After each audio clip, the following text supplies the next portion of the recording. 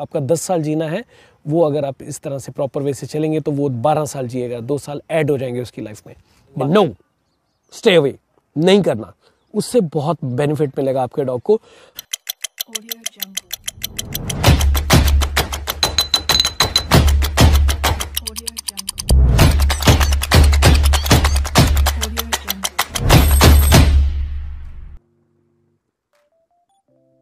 Audio Jungle. I'm your friend, your host Badal Bhandari, and I welcome you in your favorite YouTube channel that is Dogs Your Friends Forever.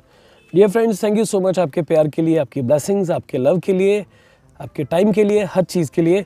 आज बहुत दिनों बाद मैं एक video लेके आ रहा हूँ because my health was not good कुछ दिन से थोड़ी तबीयत ख़राब चल रही थी वीडियो नहीं बना पाया आज अपनी एक फ़ीमेल के साथ मैं आया हूँ रॉटविलर फीमेल है और ये मेरी बहुत प्यारी और फेवरेट फीमेल्स में से एक है बिकॉज़ इसका टेम्परमेंट बहुत अच्छा है, इसका बिहेवियर बहुत अच्छा है। She know how to behave with kids she know how to behave with other dogs and other animals as well strangers के साथ कैसे बिहेव करना वो भी इसे पता है। आज का बहुत इंपॉर्टेंट टॉपिक है और ये टॉपिक है कि डिसिप्लिन आपकी डॉग की लाइफ में कितना इंपॉर्टेंट है और वो आपके डॉग की लाइफ को कैसे बढ़ा सकता है। हम लोग इस चीज़ के लिए नहीं जान इस चीज़ से अवेयर नहीं है। मैक्सिमम लोग अवेयर नहीं है कि डिसिप्लिन हमारे डॉग की लाइफ में है या नहीं। 99 परसेंट लोगों के डॉग की लाइफ में डिसिप्लिन नहीं होता। हम कुछ भी दे देते हैं खाने को, कभी भी दे देते हैं खाने को। कोई हैबिट्स बनाई हैं, नहीं बनाई हैं, सब चीज़ उसी हिसाब से चलता रहता है। आज उन सब चीज़ों को एक्सप्लेन करूँगा। आई होप ये वीडियो आपको पसंद आएगा। इस वीडियो को एंड तक देखिएगा सो दैट आपको पता चले कि आप कहाँ गलत थे और आप कैसे अपने डॉग की लाइफ को इम्प्रूव कर सकते हैं। अपने डॉग की लाइफ कैसे लंबी कर सकते हैं? जो डॉग आपका 10 साल जीना है, वो अगर आप इस तरह से प्रॉपर वे से चलेंगे तो वो 12 साल जिएगा, दो साल ऐड हो जाएँगे उसकी लाइफ में। बात करते हैं।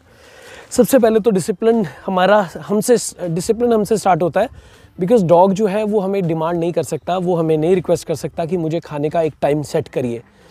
जैसे छोटा बच्चा है तो मान लीजिए, एक छोटा वन एंड हाफ़ मंथ के करीब का बेबी है तो उसको सुबह हमने सात बजे खाना दे दिया, फिर बारह बजे दे दिया, शाम को चार बजे रात को नौ बजे के करीब दे दिया। बहुत बारी लोग बोलते हैं, हमारा छोटा बच्चा है, उठ जाता है रात में, उठ के डिमांड करता है खाने की है कुछ भी, डेढ़ दो महीने का बच्चा है, वो नहीं देना चाहिए, वो हैबिट बिगाड़ने की बात है, उसको फ़ीड नहीं करना चाहिए मिडनाइट में उठ के, वरना वो शायद उसकी हैबिट ऐसी बन जाए कि वो थ्रू आउट लाइफ रात को उठ के बोले आपको कि मुझे दो, तंग करेगा, आपको परेशान करेगा। वो डिसिप्लिन होना चाहिए, जो टाइमिंग है जैसे जैसे डॉग ग्रो करेगा, उसका टाइमिंग सेट होता जाएगा। बहुत बारी ऐसा भी होता है। मैक्सिमम टाइम बहुत सारे लोग ऐसे करते हैं। कभी सुबह आठ बजे खाना दे दिया, कभी सुबह दस बजे दे दिया, साढ़े नौ बजे दे दिया, कोई भी रफ मतलब रफली किसी भी टाइम पे दे देते हैं। वो नहीं होना चाहिए। उसका एक टाइम सेट कीजिए कि सुबह हम इसे आठ बजे खाना देंगे या नौ बजे देंगे। आधा घंटा प्लस माइनस हो सकता है। बट अगर हमें, आप अपनी एग्ज़ाम्पल लीजिए, अगर आप सुबह नाइन ओ अपना ब्रेकफास्ट लेते हैं और आपको कोई बोले सेवन ओ ब्रेकफास्ट ले लें तो आपको भूख नहीं लगी होगी, आप अच्छे से खा नहीं पाएँगे। ना आप अपना मील इंजॉय कर पाएँगे। खास करके तब जब आपको एक अपना, हमें अपना डेली रूटीन बेसिकली डिस्टर्ब नहीं करना। है इवनिंग में भी, अगर हमें कोई बोलेगा, आप छः बजे डिनर कर लो तो हम छः बजे डिनर नहीं करेंगे। अगर कोई बोलेगा, दस बजे डिनर करो तो समटाइम्स कुछ लोग ऐसे हैं जिन, जो लेट खाना खाते हैं।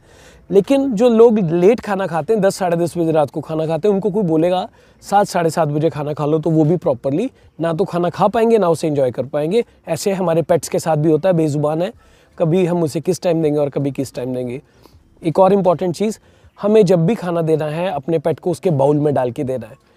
हमेशा उसके बाउल में फ़ीड कीजिए। मैंने बहुत बारी देखा, लोग ऐसे फर्श पे भी खाना डाल देते हैं कि रोटी तोड़ी और फर्श पे डाल दी। I have seen such kind of people वो नहीं होना चाहिए। उसका जो बर्तन है, उसको हमेशा नीट एंड क्लीन करके खाना देना चाहिए।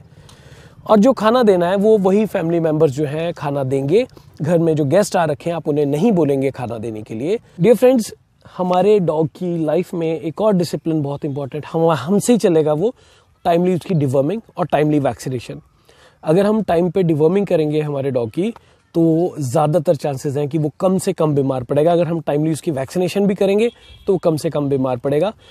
अगर डिवर्मिंग टाइमली हो रही है तो वो गंदा नहीं खाएगा, गंद में मुँह नहीं मारेगा। अगर गंदी चीज़ नहीं खाएगा, जैसे कई बारी डिवर्मिंग नहीं हुई होती तो बच्चा गोबर खाना शुरू हो जाता है। समटाइम्स अपना स्टूल करके खुद खाना शुरू हो जाता है, या किसी भी गंदी चीज़ को मुँह मारता है। अगर हम उस वे से लेके चलेंगे, उसको प्रॉपर डिवर्मिंग कर रहे हैं proper time to time vaccination कर रहे हैं, ना वो गंद खाएगा ना वो बीमार होगा, आपके जो डॉग की जितनी फिटनेस लेवल अच्छा होगा, वो उतना ही ज़्यादा जीने के उसके चांसेस बढ़ जाएँगे। आपके पैसे भी बचेंगे, आपको वेट के पास कम से कम जाना पड़ेगा वेटनरी डॉक्टर के पास जाना भी डॉग्स को पसंद नहीं होता डॉक्टर के पास जाना, उनके लिए साइकोलॉजिकली बहुत बड़ा टेंशन और प्रॉब्लम की बात होती है। बिकॉज़ वो अगर बार बार डॉक्टर के पास जाना पड़ेगा, एक तो हमारे पैसे वेस्ट हो रहे हैं मेडिसिन पे, और जो मेडिसिन डॉग की बॉडी में जाएँगी, वो उनकी लाइफ और उनके ऑर्गन्स पे भी असर करेंगी। इसके अलावा जैसे हम उन्हें वॉक करने के लिए लेके जाते हैं तो मेक श्योर sure आपका डॉग जो है गंदी चीज़ में मुँह ना मारे, गंदी चीज़ को ना खाए।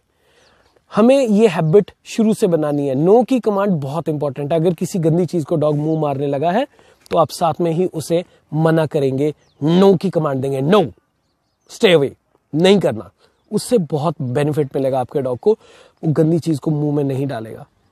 एक और चीज़ पॉइंट क्लियर करता हूँ। जब हमारे घर में कोई अगर भगवान ना करे, हमारे घर में कभी थेफ्ट के चांसेस हो जाए, कोई चोर वगैरह आ जाए या कुछ भी हो जाए, हमने अगर अपने डॉग को नो की कमांड दे रखी है या उसको हैबिट बनाई हुई है कि वो सिर्फ़ घर के लोगों से ही खाना लेके खाएगा, अगर कोई बाहर से आके उसको नॉन वेज या वेज या कुछ भी देने की कोशिश करेगा, जिसमें मेडिसिन कई बारी पॉइजन लगाया होता है, कई बारी बेहोशी की दवाई लगाई होती है, हमारा डॉग उसको नहीं खाएगा, बल्कि हमारे घर वालों को अलर्ट करेगा भोंक के।